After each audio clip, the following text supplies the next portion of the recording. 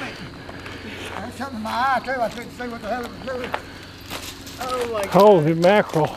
That was Look at how dead it is in the center of it. Know it. that's what happened is he re- started reaching that point where it wasn't well, there wasn't nothing holding it anymore.